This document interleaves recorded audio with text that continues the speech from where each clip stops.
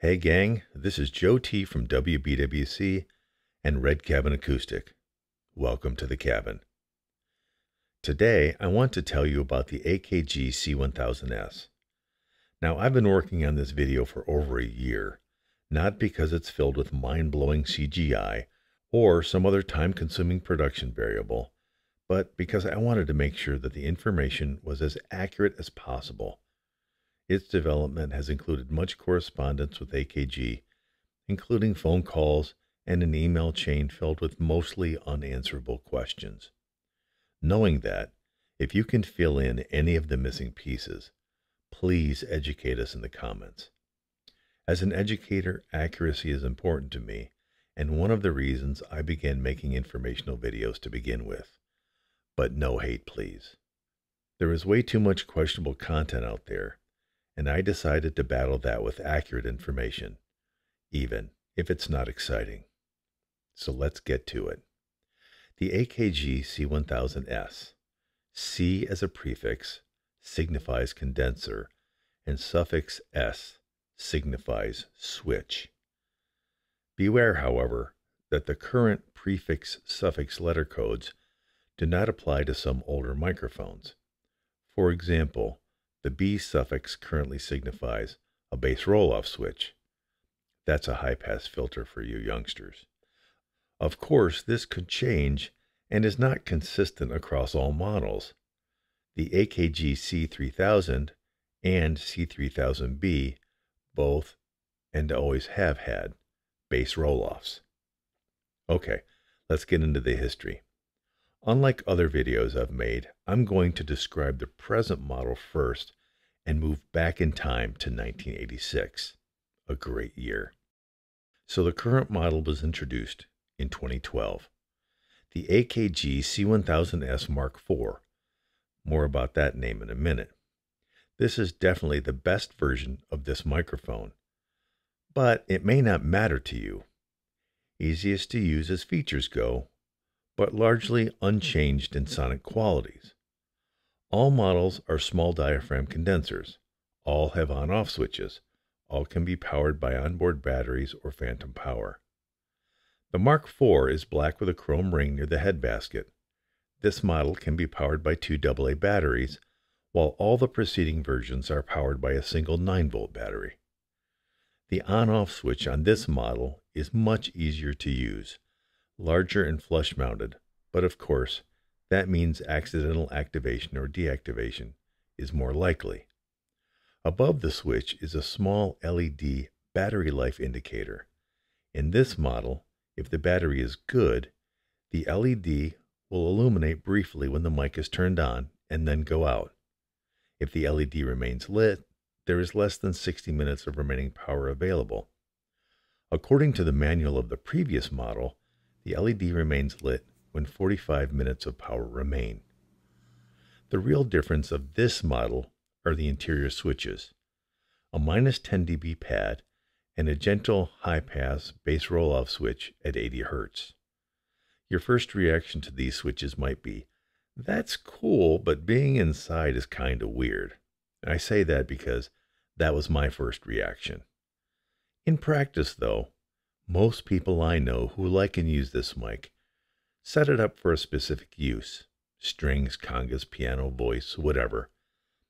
If you think the interior switches are a bit too inelegant, then you probably feel the same way about the appliances, commonly known as widgets, that have been available for all models. These widgets are the PPC 1000 and the PB 1000. The PPC 1000 is the polar pattern converter, changing the polar pattern from cardioid to hypercardioid. And the PB 1000 is the presence boost converter, which, according to the manual, boosts the sensitivity of the microphone by approximately 5 decibels between 5K and 9K for optimum intelligibility of speech. But of course, could be used to make any source brighter that dull old guitar, cymbals, harmonica, or a voice, you know. These widgets, as with the interior switches, seem at first blush to be clunky, but as I said, most folks I know find a best use case for this mic set it up, and leave it alone. I do understand that if this is your only mic, or you only have a couple or few mics, you may need to access the switches and change out the widgets more often. This may seem tedious, but this flexibility is a great benefit if your mic locker is modest. I wish I had an AKG C1000S, widgets and all, when I started to record. Before moving on, at the time of this taping, yeah, I just said taping, the name Mark IV is not being used on the AKG website, and to my knowledge never has been. The designation Mark IV is used by many vendors, however, and is described as the Mark IV on the service and repair documentation. That's how I and my OCD got here. If there is a Mark IV, which model is the Mark III? That's why I called AKG in the first place. Now, the previous model, known as the LED version, can be identified as the silver model with the red stripe near the head basket and the LED battery indicator. The only difference in it and its predecessor was the addition of the battery indicator LED. This LED version became widely available in 2008 until replaced by the Mark IV in 2012. This and preceding models have no internal switches, but the widgets were included. All have tiny recessed on off switches, which are a pain for my big hands, but I've never switched them on or off by accident. According to a spokesman I talked to from AKG, this is not the Mark III, and there never has been a Mark III. The LED version sits where the Mark III should be. You may think I'm overly pedantic, and I'll own that, but in my defense, the version that precedes the LED is the Mark II. On the service and repair documentation, they, the first three versions, are listed as A. Former version, B. Mark II, and C LED. One more thing to hopefully provide clarity. Before 2008, all production was in Austria. Between 2008 and 2012, AKG outsourced production to help control costs. The C1000S LED was also produced in Poland before all production was moved to China. So there are Austrian, Polish, and Chinese silver LED versions before all production moved to China in 2012 with the introduction of the Mark IV. To my knowledge and experience, all LED versions are identical internally and externally. In 1997, the B version, or Mark II, was released silver, red stripe, recessed on off switch with polar pattern and presence boost widgets often confused with the LED version. This model contains a redesigned circuit board with the XLR mounted directly to the PCB. Remember, I'm working backwards, so all the models after 1997 have this design. Now the first model. In 1986, AKG introduced the world's first condenser stage microphone with a convertible polar pattern and alternate powering options. The AKG C1000S.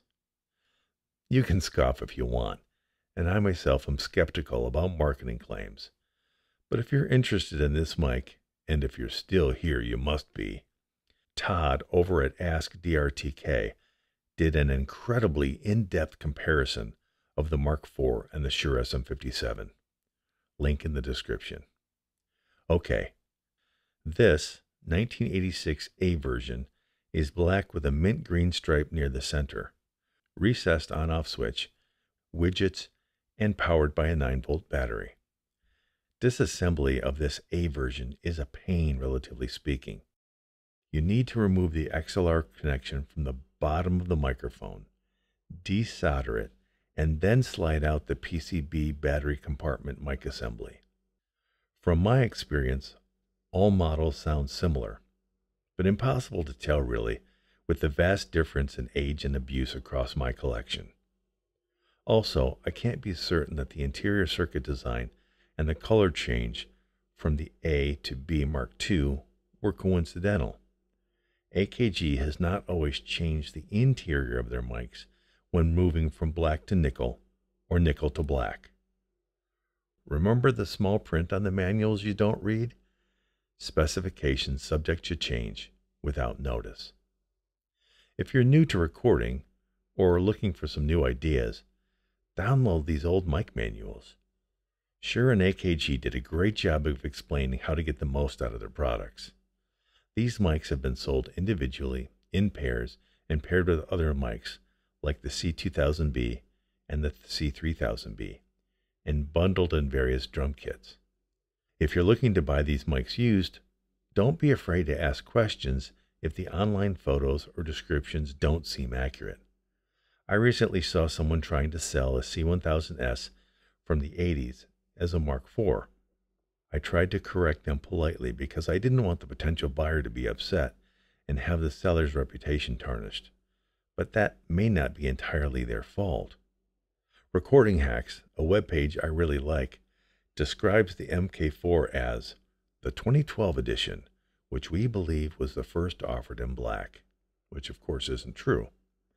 Also, I found a web page called GemTracks they have an article called AKG C1000S Microphone Review. Is it worth it? 2023 updated. It's not updated. It's a cobbled together mess of misinformation because it contains uncurated reviews and articles over the last three decades that have no context and are therefore contradictory at least, confusing, misleading, and wrong. It's pretty terrible. Maybe it's AI created. I try to be kind, and the only time I've ever banned anyone from my channel is when they kept responding to comments with information that was just wrong. So be careful, and if you're interested in buying used mics, do your research, read reviews, watch reviews, and borrow or rent one if you can. Thanks for listening. You know what to do if you like the content peace, and be safe.